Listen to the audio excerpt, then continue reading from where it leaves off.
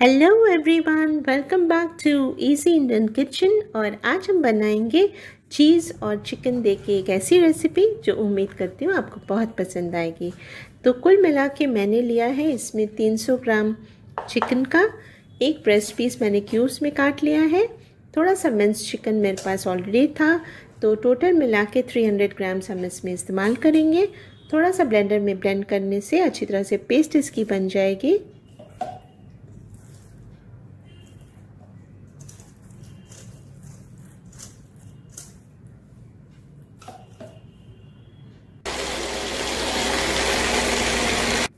उसमें हम डालेंगे स्वाद अनुसार नमक, एक छोटा चम्मच ब्लैक पेपर और पेपरिका पाउडर का, एक छोटा चम्मच गार्लिक पाउडर और एक छोटा चम्मच अनियन पाउडर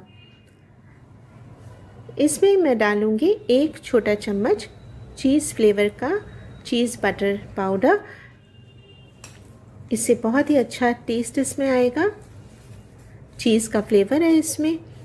मैंने लिंक डिस्क्रिप्शन बॉक्स में मैं दे दूँगी, आप वहाँ से परचेज़ कर सकते हैं इसको। तो अच्छी तरह से मिक्स करते हैं, हम इसे कवर करके जब तक अपना स्लरी बनाते हैं, तब तक रेफ्रिजरेट कर देते हैं इसे। तो स्लरी के लिए मैंने लिया है तीन बड़े चम्मच मैदा और एक बड़ा चम्मच कॉर्नफ्लावर का। स्वाद अनुसार नमक इसमें डाल दें और थोड़ा सा एक एग डालते हुए, थोड़ा सा पानी मिक्स करते हुए हम इसकी स्लरी बना लेंगे।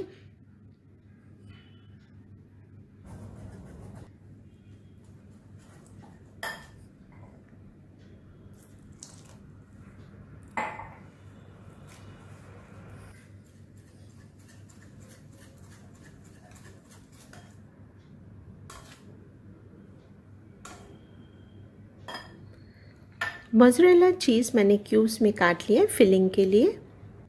थोड़ा सा ब्रेड क्रम्स अब हम रेफ्रिजरेटर से निकाल के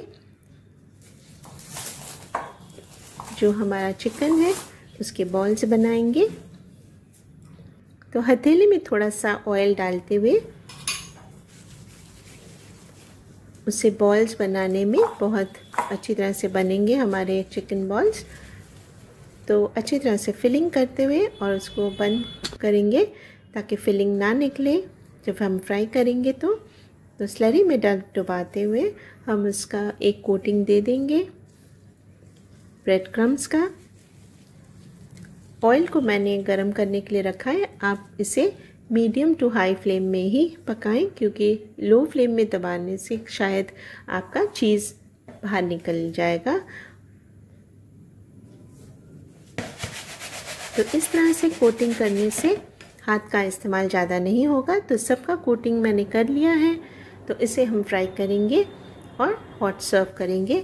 टमाटो कचप से भी आपके साथ भी कर सकते हैं सर्व तो इसे ज़रूर से आप बनाएँ और अपने कमेंट्स में साथ शेयर कीजिए। Thanks for watching my video take care bye bye